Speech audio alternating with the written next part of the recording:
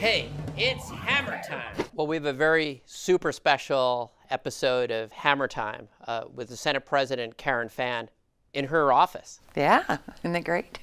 I love it. W- welcome to the show. Thank you. You're a historical figure. You're the you're only, I believe, the second female Senate president that this state has had in in our history. That is correct. There wasn't much time before you got thrown an incredibly important is- issue, the drought contingency plan. Uh, we had not had a major water bill. We had some different water bills passed, but not a major one since 1980, the the, the landmark Ground uh, Water Management Act.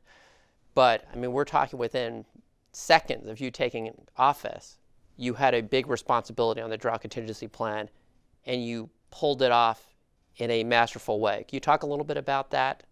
You give me too much credit, Glenn. Um, You deserve it. Actually, this was uh, a, a huge effort by many, many people. Actually, over the last five years, everybody does think that we just pulled it off when it really had been a, a huge issue. It was just it came upon us much quicker, and that's why it did look like it was like fast. So, um, kudos to everybody that served on those study committees all those times. It was it's a delicate issue. Uh, I was fortunate in the sense only because I've worked on water issues for about 30 years now, and so at least. Uh, water is so difficult, but if you know at least a little bit and understand the concept, it sure helps you deal with all those acronyms and everything else that goes along with it. And there's a lot of acronyms. Yeah.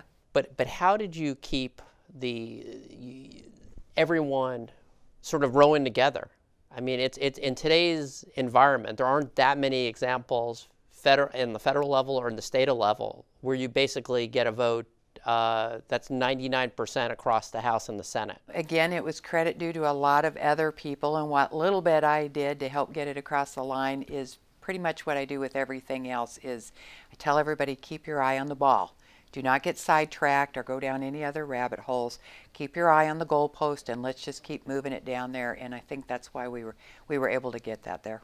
And it's neat. We're at a point now where the it's in the it's in the hands of our federal delegation, and it, and it seems that the seven states that are part of the the lower and the upper basin are working well together too. Exactly, and to you know not to take anything away because we have an amazing governor and his staff has really worked hard to do this. So this was done under his leadership.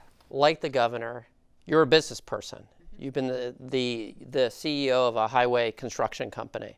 Can you talk a little bit about that experience? And I, I'm gonna I'm gonna transition it into some of the infrastructure issues, but just your your perspective as being uh, a leader in the state and and but someone who has such a strong uh, business background.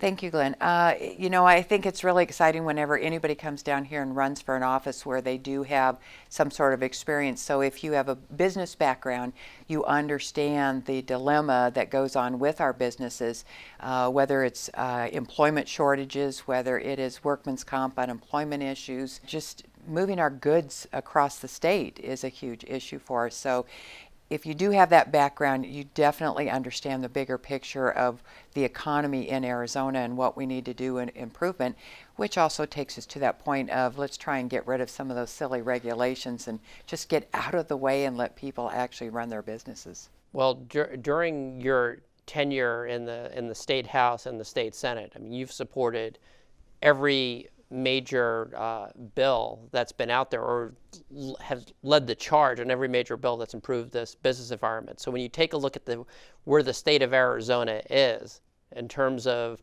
our job growth, uh, how, how does it just make you feel?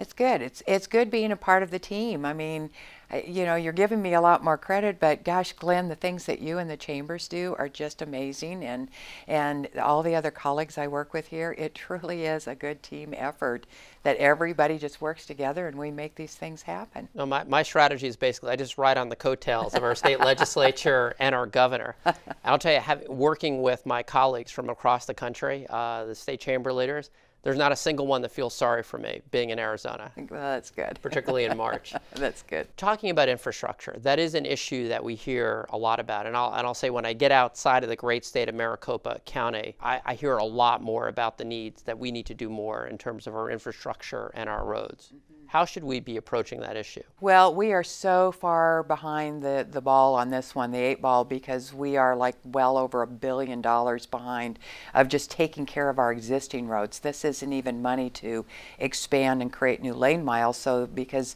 we're growing. We are a growing, prosperous state, and people are moving here. And you can see what's going on on the 10. You can see what's going on. Everybody just trying to move to and from work, much less our goods. So we have to do something about funding uh, our, our infrastructure. We have not had a raise in gas tax since 1990, and I'm certainly not one that wants to jump out and propose to raise taxes, but we are we are spending less now in, in, proportion on our highway infrastructure than we were 20 years ago because we're not even keeping up with the cost of living, the cost of raises and fuel and products. And the U.S. Chamber has been very aggressive on the federal level, saying we need to raise the, the gas tax for for the reason it hasn't been raised, and, and also just the transition. And I'm part of the problem. I drive around in a in a, in a hybrid, it's nice, but I'm using the roads every bit as much and paying less, and that right. doesn't seem right either. And that needs to be addressed as well. And you know, it, it, the number one thing here is remember this is safety. This is where mom, dad, the kids, grandma, and grandpa. These are on these people are on the roads every single day, and the more congested they get, and the less uh, that they are fixed. Uh, we have a bridge just north of Chino Valley that literally had holes in it, and you could look down to the canyon below. That's how far behind we are on that stuff. So, yes, we need to fix that problem. And, and, we are hearing more and more from employers all across the state that, that we need to do something. So that, that's going to be an issue that we're really uh, going to uh, dig, dig uh, a lot more into. Just curious, you're also former mayor. Mm-hmm. Differences between being a mayor and the Senate president and serving in the legislature? You know, it's really fun. Everybody said uh, the difference is, is, for one, if you're a mayor, the best part of the mayor is you're closest to the people.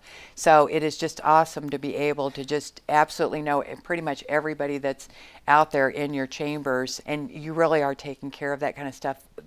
The difference, though, is that on a local level, you're taking care of things like zoning and not in my backyard, and you take care of your, your police and your fire issues and those kind of things. When you come up to a state level, you still are addressing some of them, but now it's on a whole different level. You're dealing the whole state, and you can't just think about your municipality anymore. You need to think about the entire state and how whatever your actions do or don't do, how that's going to affect every municipality and the state as a whole. But it, but it seems that it's a great experience to it's have. great. I love my job. I really uh, do. I'm asking this as someone who spends too much time in the state of Maricopa County and who came here from another country called New York.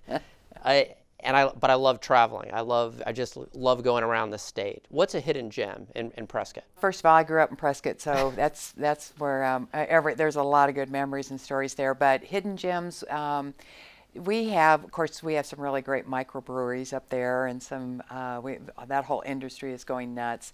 We do have uh, Fort Whipple, we have the Sharlot Hall Museum, we have the Arizona Pioneers Home, so we have a lot of really good gems. But come up for Arizona's Christmas City in this in the wintertime. It is just amazing. Everybody loves it. And then of course, Fourth of July, world's oldest rodeo. Another great uh, time. You know, I, I, will say I've been there the Fourth of July. It is magical. I will say I was on a former senator's ranch once uh-huh. and was riding a horse called Cinnamon, and that was rough. I found it really tough. Probably so not so much. so I have, I have, a lot of work to do. Senate President Karen Fann, thank you for serving the state with great honor and distinction. And we look forward to continuing to work with you throughout this session and, and beyond. Great. Thank you, Glenn. I appreciate that. Thank you.